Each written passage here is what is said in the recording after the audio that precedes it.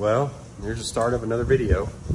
I am installing the moisture tester on the round baler and kind of got everything laid out here. These are the little sensor pads.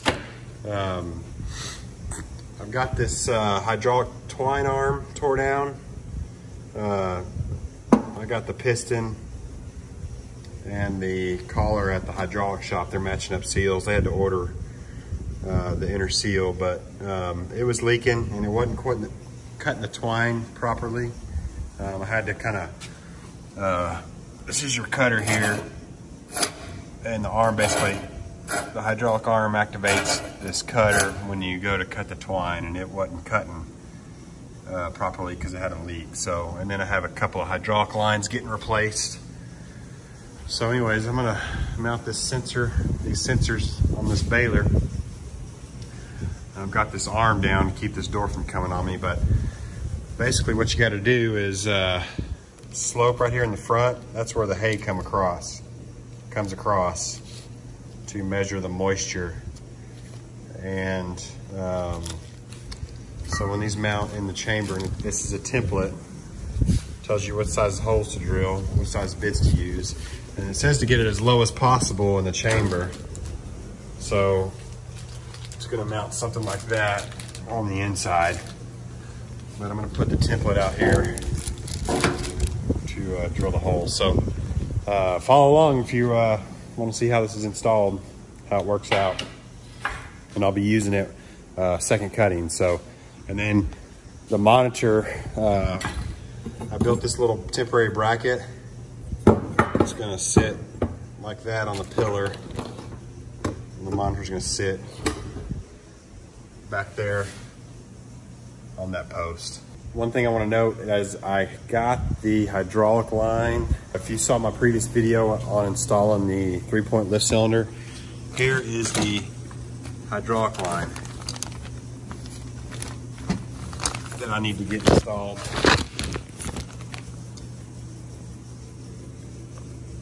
Uh, I used a, and here's the pin, I used, if you didn't see that video, um, I installed this three point cylinder right here.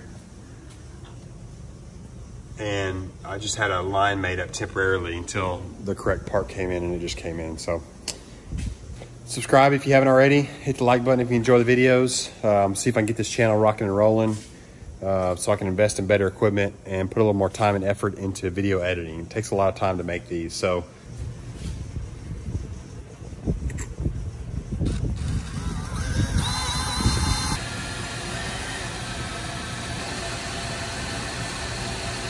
Okay, when you're putting these things together, uh, you really got to pay attention to the instructions, and there's a reason why the quarter, the back holes are quarter inch versus 11 64ths. Uh, so when you put these in, your front bolt, the smaller hole, just takes your typical nut, uh, bolt, lock washer, and nut, but your back hole where it goes through this metal strip. Uh, that quarter inch hole, this little piece here goes inside the quarter inch hole and then this is a washer and it basically keeps this from grounding out to the baler. Um, let me see if I can do this here without dropping any of this because this stuff's itty bitty. Your rear hole is bigger than your front and this is what it looks like when you get it on. But you can see why. Let's see if I can set the camera down. So your, your bolt that goes up here and that metal strip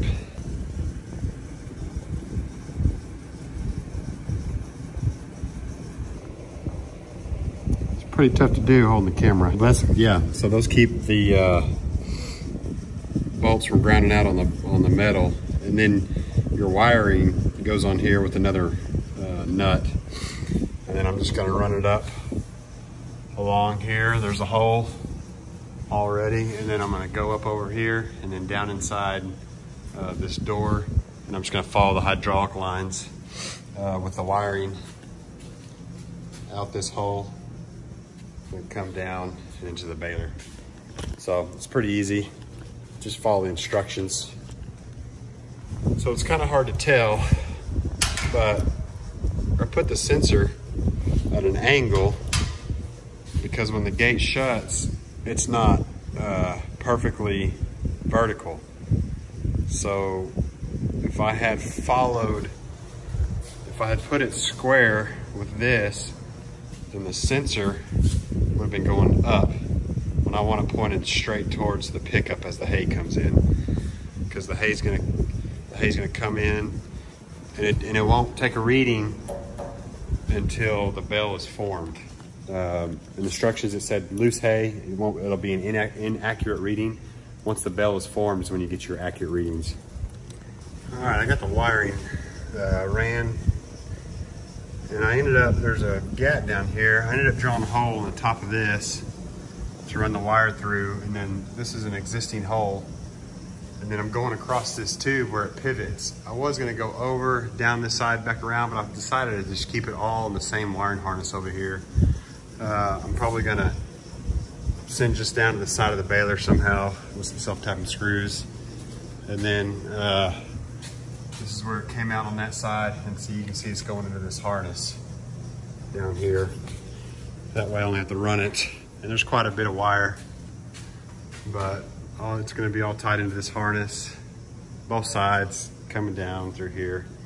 But one thing I wanted to mention is when you run this, uh, some of your holes may not be big enough to run this plug through.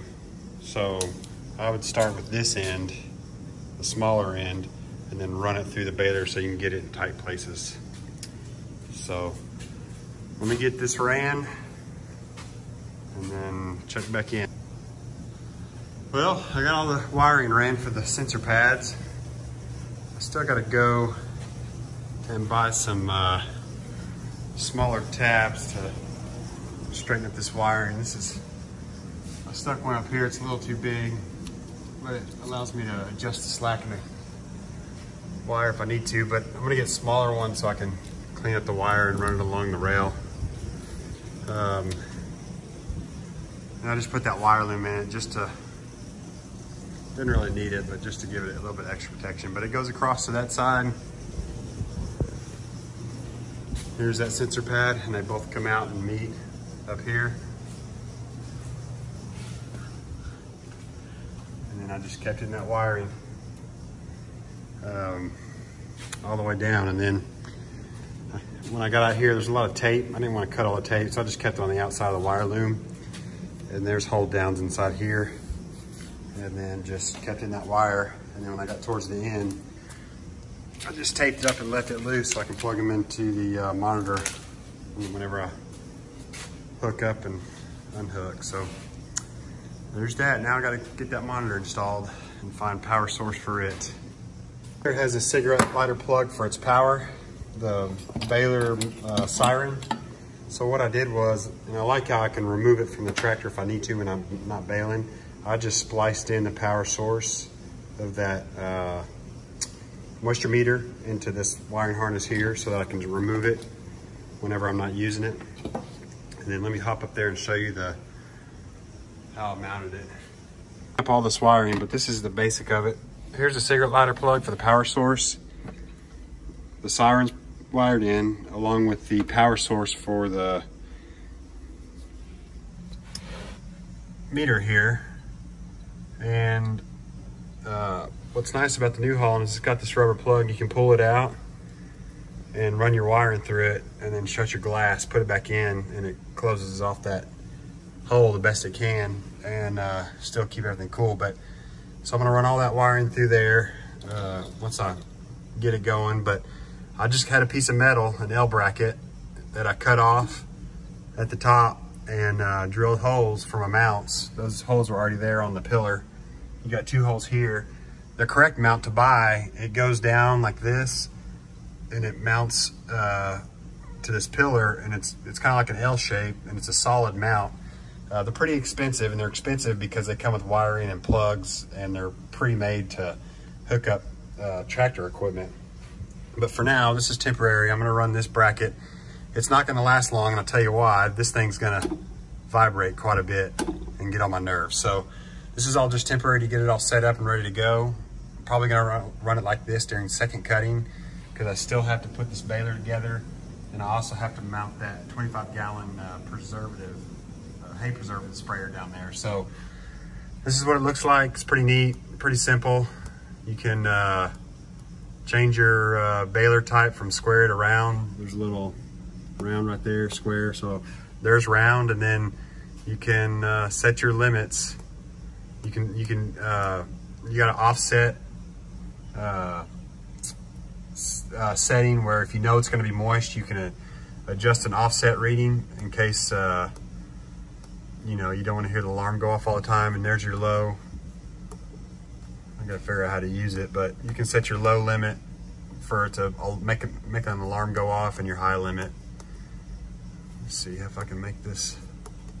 There you go. So, so you can set your high limit at, so let's say we want to go off at 25% moisture your low limit.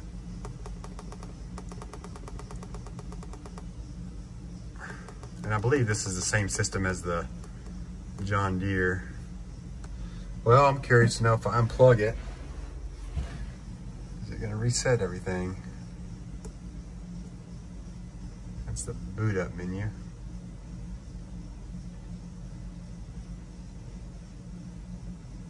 Yeah, looks like it saved all the settings by once I killed the power.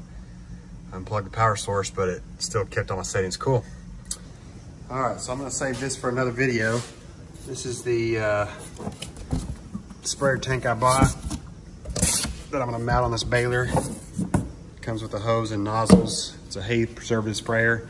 It's gonna mount down here on this pickup wheel and uh, I'm gonna run uh, preservative when it's high moisture or I'm, when I'm in a hurry or if I ever get caught in rain. So uh, if you like the video, hit the like button. And if you haven't, subscribe.